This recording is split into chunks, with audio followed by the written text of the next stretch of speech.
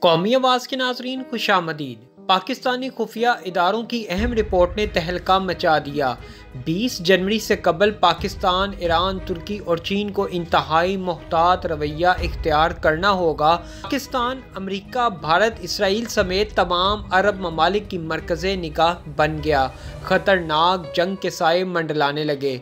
पाकिस्तान को ढेर करने और इसराइल को तस्लीम करवाने के लिए जहाँ एक तरफ़ इमरान खान और पाक फौज के सरबराह डट गए, वहीं सयूनी ताकतों ने पाकिस्तान के खिलाफ मुआशी और अस्करी मैदान में महाज गर्म करने का मुकम्मल प्लान बना लिया।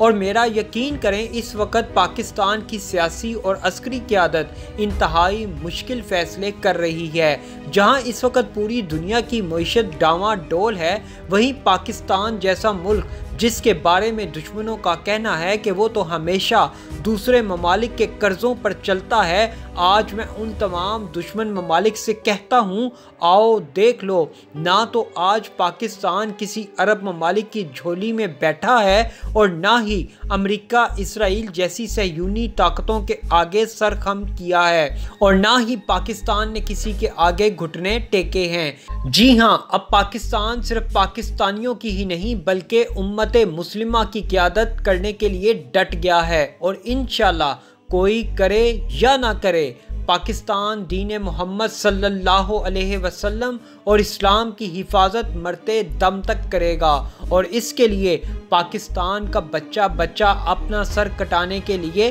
तैयार है। दोस्तों, आज की वीडियो में आपको बताने जा रहे हैं कि ट्रंप से अमेरिका के खुफिया इदारे कौन सा इंतहाई ख़तरनाक काम करवाने जा रहे हैं। क्यों इस वक्त ईरान, तुर्की और पाकिस्तान में इंतहाई बेचैनी सी पाई जा रही है?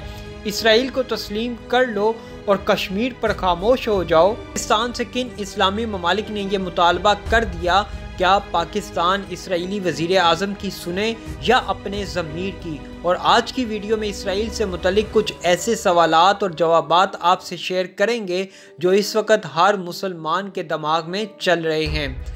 दोस्तों, वीडियो में आगे बढ़ने से कबल अगर आपने कौमी आवाज़ को अभी तक सब्सक्राइब नहीं किया तो इसे सब्सक्राइब और बेल आइकॉन पर क्लिक ज़रूर करें, क्योंकि ये मेरी और आपकी नहीं, बल्कि पूरी कौम की आवाज़ है।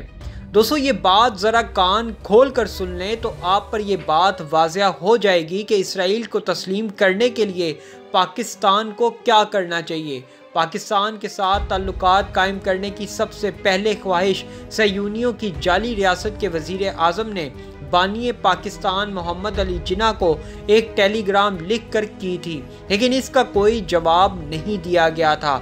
मौजूदा हालात में भी वज़ीर अजम पाकिस्तान इमरान खान ने फ़लस्तीन से मुतलिक जिस मौक़ का इजहार किया है, उसमें मज़ीद पुख्तगी की ज़रूरत अभी बाकी है। क्योंकि वज़ीर अजम पाकिस्तान का ये कहना कि 1967 की सरहदों पर फ़लस्तीन और इसराइल कायम हो जाएँ तो दोनों को तस्लीम कर लिया जाएगा।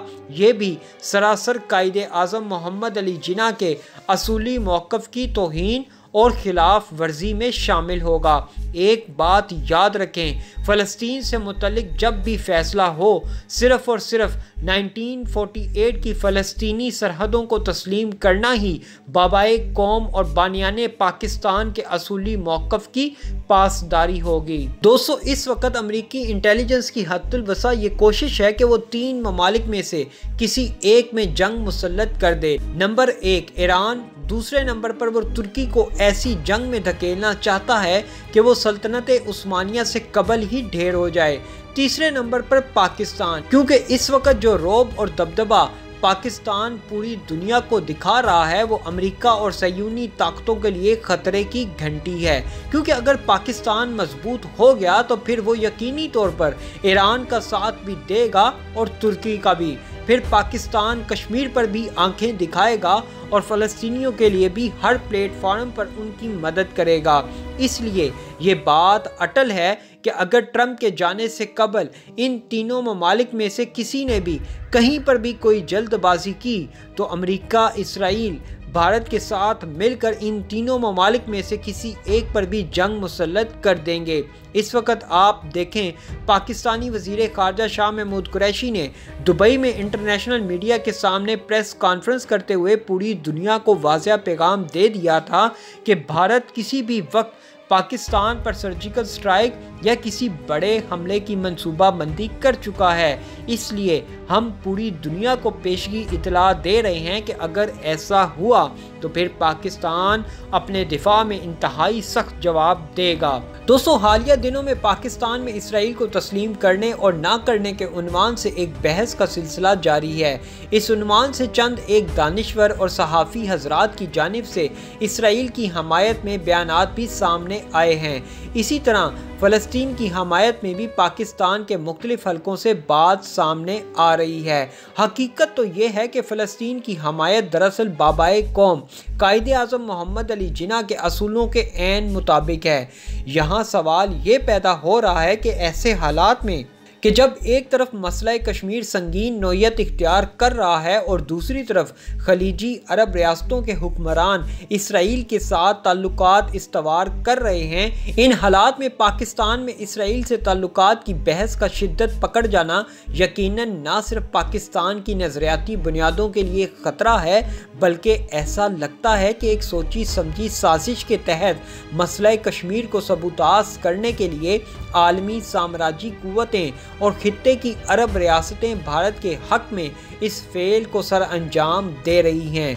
हकीकत तो इस वक्त यह है कि मुतहदा अरब इमारात और सऊदी अरब हमारे लिए चौधरी बन चुके हैं। ये दो ममालिक पाकिस्तान पर इस वक्त ज़ोर डाल रहे हैं और कह रहे हैं कि कश्मीर पर खामोशी इख्तियार कर लो और इसराइल को तस्लीम कर लो। अरब ममालिक पाकिस्तान से तुर्की की कुर्बतों के खिलाफ हैं। इनको इस बात पर भी एतराज़ है। आपको अंदाज़ा नहीं कि ये तुर्क ड्रामा पाकिस्तान को कितने बिलियन डॉलर्स में पड़ा है। लेकिन हमारा मौक़ तो गलत नहीं। हम जो मर्ज़ी ड्रामा देखें, कौन हम पर पाबंदी लगा सकता है? अरब इसराइल को अपना दुश्मन नहीं मानते, वो कहते हैं, हमारा दुश्मन तो ईरान है। मतलब हालात मुस्लिम ममालिक के तेज़ी से बदल रहे हैं। अब इन मुस्लिम ममालिक में कौन कौन से ममालिक गद्दार हैं या हो चुके हैं? ये आप भी जानते हैं और हम भी। चलो अच्छा हुआ। पूरी दुनिया पर यह वाजिया हो गया कि किन इस्लामी ममालिक ने इस्लाम का लबादा ओढ़ रखा था। कम अज़ कम ये तो मालूम हो गया कि दर हकीकत इस्लाम का लबादा ओढ़कर मुसलमान ममालिक और मुसलमानों की पीठ में छुरा कौन घोंप रहा था? अब कम अज़ कम हम उन इस्लामी ममालिक की पैरवी तो नहीं करेंगे ना? अब बॉल पाकिस्तान के कोर्ट में है। इसराइल को तस्लीम ना करके अरब ममालिक से दुश्मनी मोल लेकर पाकिस्तान को बहुत बड़े बड़े खमियाजे भुगतना हैं। और यकीन करें, ये पाकिस्तान के लिए इंतहाई मुश्किल फ़ैसले साबित होने जा रहे हैं। इस वक्त भारत का पाकिस्तान पर पूरा प्रेशर है। दूसरी तरफ़ सऊदी अरब अपने अरबों डॉलर्स की वापसी फौरी मांग रहा है। तीसरा, इसराइल और अमरीका की तरफ़ से प्रेशर है कि इसराइल को तस्लीम कर लो। दोस्तों, ये हकीकत में पाकिस्तानी क्यादत के लिए इंतहाई कड़ा वक्त आन पहुँचा है। इस वक्त यकीनी तौर पर इमरान खान को अंदरूनी तौर पर भी प्रेशराइज किया जा रहा है, जहाँ तमाम पाकिस्तानी सियासी जमातें किसी गैर मुल्की एजेंडे को सपोर्ट करते हुए खान के खिलाफ इकट्ठी हो गई हैं। दुआ करें, अल्लाह इस मुश्किल वक्त में पाकिस्तान की हिफाजत करे। आमीन। ऐसी मजीद मालूमती वीडियोस देखने के लिए कौमी आवाज़ को सब्सक्राइब और बेल आइकॉन पर क्लिक ज़रूर करें, क्योंकि ये मेरी और आपकी नहीं, बल्कि पूरी कौम की आवाज़ है।